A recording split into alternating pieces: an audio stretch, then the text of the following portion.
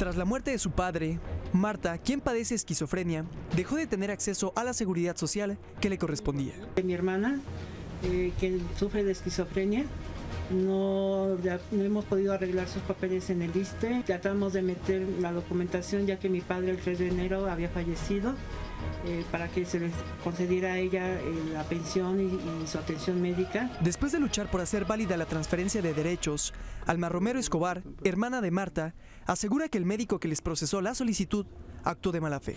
Con dolo no puso un- una palabra, un- una, simple palabra no la puso que era permanente, que su incapacidad era, era permanente. Doña Alma expone que ante la ineficiencia del INSTE, la situación económica de la familia no les permite costear un servicio médico privado. Pedimos la ayuda para que nos orienten, nos, nos digan qué podemos hacer para que a mi hermana se le, se le realice ese, eh, ese trámite y ella pueda eh, tener su atención médica porque es muy necesaria puesto que su medicamento de ella es controlado. Alma pide ayuda para que Marta pueda continuar con su demandante tratamiento.